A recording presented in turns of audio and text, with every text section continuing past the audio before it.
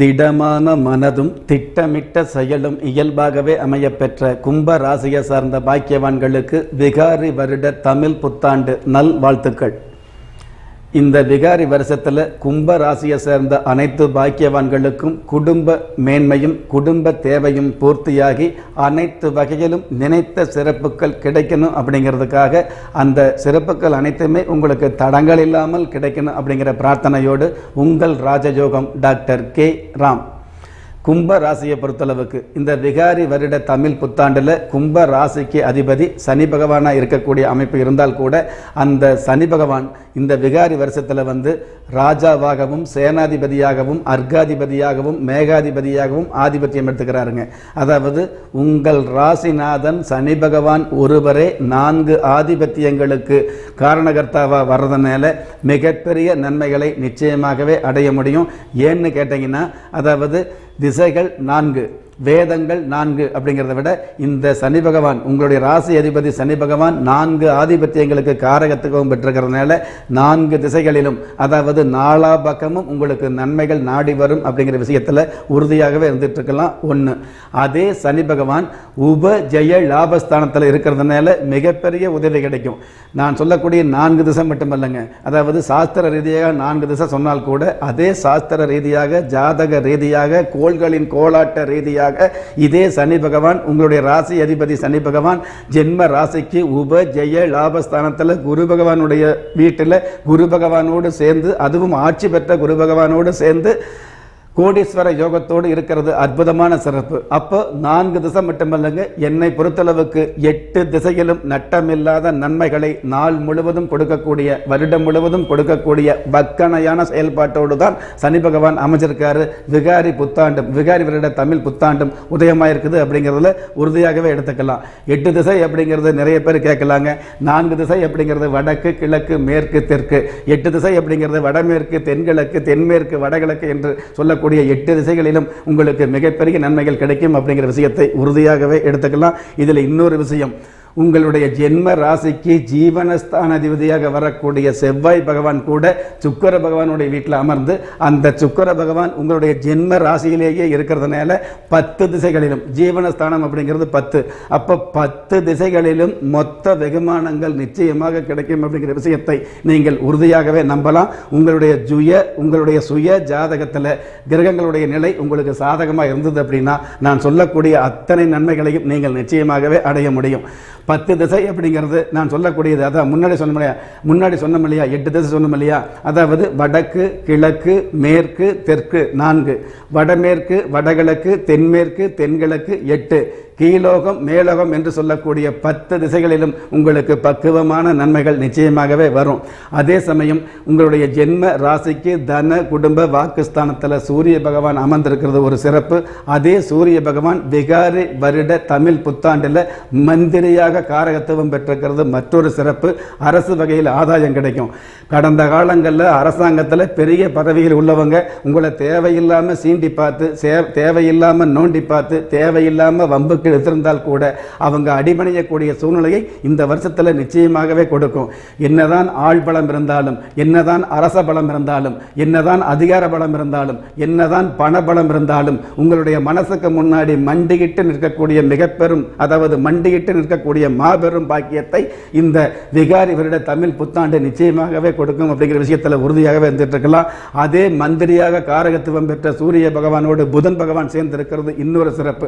சாதாரணமாக சாஸ்திர ரீதியாக புதனும் சூரியனும் சேர்ந்தால் புதாத்திய யோகம் அப்படிங்கிறது எல்லோருக்கும் தெரிஞ்சிருக்கலாம் ஏறக்குறைய தெரிஞ்சிருக்கலாம். ஆனால் அதே புதன் பகவான் விகாரி வருட தமிழ் புத்தாண்டில் வந்து சஸ்யாதிபதியாகவும் நீரசாதிபதியாகவும் ஆதிபத்தியம் பெற்று வ- ஆதிபத்தியம் பெற்று வந்திருக்கிறதுனால யாராலும் மறுக்க முடியாத நீங்களே மறக்க முடியாத மிகப்பெரிய சிறப்புகளை இந்த வருஷத்தில் சந்திக்க முடியும். உங்களுடைய ஜென்ம ஜாதகத்தில் புதன் பகவான் நல்ல நிலைமையில் இருந்தார் அப்படின்னா அதே சமயம் இந்த மகர அதாவது கும்ப ராசியில் வந்து பார்த்தீங்க அப்படின்னா கும்ப ராசிக்கு பஞ்சமஸ்தானாதிபதியாகவும் புதன் பகவான் வர்றதுனால பல்வேறு வகையில் பூர்வீக சொத்துக்களில் கடந்த காலங்களில் இருந்த வில்லங்கங்கள் விலகும். அதே சமயம் உறவு வகையில் மரபு மீறி பேசினவங்க மரியாதையோடு வந்து பேசக்கூடிய வாய்ப்புகள் உருவாகும். தொழிலாக இருந்தாலும் விற்பனையாக இருந்தாலும் மருத்துவமாக இருந்தாலும் கல்வியாக இருந்தாலும் அனைத்து வகையில் உள்ளவர்களும் மிகப்பெரிய ஆதாயத்தை சந்திக்கக்கூடிய அனுமானமான சூழ்நிலைகளும் நல்லதொரு அணுகுமுறைகளும் இந்த வருஷத்தில் அதிகமாகும். மருத்துவத்துறையில் உள்ளவர்கள் மகத்தான சாதனை செய்யக்கூடிய சிறப்புகள் அதிகமாகும். சத்துரு ஸ்தானத்தில் சத்துரு ஸ்தானாதிபதி சந்திர பகவான் ஆட்சி பெற்றிருக்கிறதுனால கடந்த காலங்களில் தெரிஞ்சோ தெரியாமலோ தீய பழக்கங்களுக்கு ஆளானவங்க திருந்தி வருவாங்க. அதே சமயம் கடந்த காலங்களில் தெரிஞ்சோ தெரியாமலோ உண்மையாக மதிக்க வேண்டிய பெண்மையை உதாசீனப்படுத்தினவங்க இந்த இந்த வருஷத்தில் பெண்மையை உண்மையாக மதிக்கக்கூடிய பக்குவங்களும் அதற்கான மனோநிலைகளும் நிச்சயமாகவே அதிகரிக்கும். அதன் காரணமாக மகிழ்ச்சிகளும் நெகிழ்ச்சியான பாசமும் இந்த வருஷத்தில் உறுதியாகும். இத்தனை நன்மைகள் இருந்தால் கூட உபஜெய லாபஸ்தானத்தில் உங்களுடைய ஜென்ம ராசிக்கு உபஜெய ஜானத்தில் ஸ்தானத்தில் ராசி அதிபதி சனி பகவானும் குரு பகவானும் இணைந்து ஞானகாரகன் கேது பகவானும் சேர்ந்து பிரம்மகத்தி தோஷம் அப்படிங்கிற ஒரு தோஷம் இருக்கிறதுனால நீங்கள் எவ்வளவுதான் நல்லது இருந்தால் கூட தேவையில்லாத தீயவை தெரிஞ்சுக்கக்கூடிய தீ அதாவது ஏதோ ஒரு கெட்ட பழக்கத்தை வந்து விளையாட்டாக நம்ம செய்து பார்க்கலாங்கிற எண்ணம் வரும். அதை செஞ்சதுக்கப்புறம் அதற்கு அடிமையாகக்கூடிய ஒரு சூழ்நிலையும் நிச்சயமாகவே ஏற்படும். அந்த மாதிரி மறைமுகமாக கெட்டு போகக்கூடிய சூழ்நிலை அதிகமாக இருக்கிறதுனால அந்த கெட்டு போகக்கூடிய சூழ்நிலையை நீங்கள் தவிர்த்து கொள்ளக்கூடிய பாக்கியம் ஏற்படணும் அப்படின்னா இந்த விகாரி வருஷத்தில் நீங்கள் வழிபாடு செய்து செய்- செய்ய வேண்டிய தெய்வம் காமதேனு. அதாவது கர்ம வினைகளை களைந்தெடுக்கக்கூடிய அற்புதமான அமைப்பு காமதேனுவுக்கு உண்டான சிறப்பு. நான் இன்னொரு விஷயம் சொல்கிறேன் கேட்டுங்க. காமதேனு அப்படின்னாலே பசு தான் இந்த பசு மாடு வந்து நீங்கள் பசு மாட்டுடைய பின்பகுதியில் தான் வந்து பார்த்தீங்க அப்படின்னா நவ கிரகங்களும் நவ அதி தேவதைகளும் குடியிருக்கிறதாக தான் ஐதீகம். அதனால தான் பசுமாட்டுடைய பின்பக்கத்திலிருந்து வரக்கூடிய சாணமாக இருந்தாலும் பாலாக இருந்தாலும் சிறுநீராக இருந்தாலும் சாமி உபயோகத்துக்கு பயன்படக்கூடிய பூஜை பொருளாக நம்ம மதத்தில் அதாவது இந்து மதத்தில் வேதத்தால் சொல்லப்பட்டிருக்குது.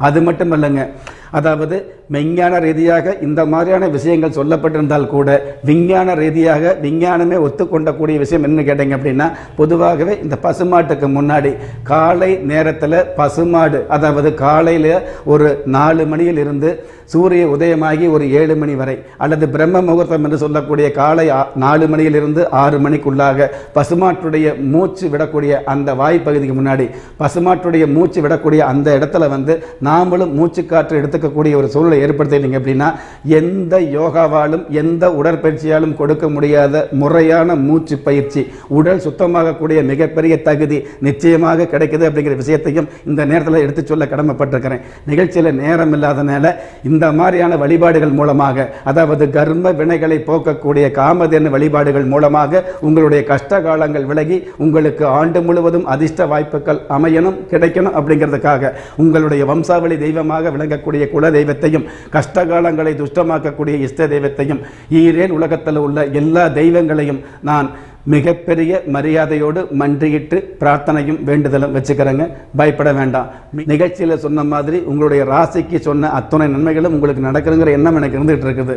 இன்னும் ஒரு சில பேருக்கு வந்து பார்த்தீங்கன்னா உங்களுடைய சுய ஜாதகத்தில் வந்து கிரகங்கள் அதாவது வருஷத்தில் விளம்பி வருட ஆரம்பத்தில் தமிழ் புத்தாண்டு என்று சொல்லக்கூடிய விளம்பி வருடம் உதயமாகக்கூடிய அந்த நேரத்தில் இருக்கிற ஒன்பது நவகிரகங்களும் எந்த மாதிரியான அமைப்பில் இருந்துட்டு இருக்கிறாங்களோ அதற்கு தகுந்த மாதிரியான சிறப்பு அல்லது பொறுப்பு அல்லது நல்லது அல்லது கெட்டது நடக்கும் அப்படிங்கிற விஷயத்தை இந்த நிகழ்ச்சியில் உறுதியாகவே சொல்லியிருக்கிறோம். புத்தாண்டு சிறப்பு நிகழ்ச்சியில். ஆனால் அதே சமயத்தில் உங்களுடைய ஜனனகால ஜாதகத்தில் வந்து நீங்கள் ஜனனமாகும் பொழுது உங்களுடைய ஜனனகால ஜாதகத்தில் கிரக நிலைகள் எந்த மாதிரி இருக்குதோ அதற்கு தகுந்த மாதிரி பலாபலன்கள் மாறுபடும். ஒன்று அதிகமாகும் அல்லது குறையும் அல்லது தடங்களாகுங்கிற விஷயத்தையும் இந்த நிகழ்ச்சியில் பதிவு பண்ண கடமைப்பட்டிருக்கிறேன். அப்படி தடங்கள் ஆனாலும் நீங்கள் கவலைப்பட வேண்டாங்க. உங்களுடைய சுய ஜாதகத்தை பார்க்கும் பொழுது அதற்கு தகுந்த வழிபாடு.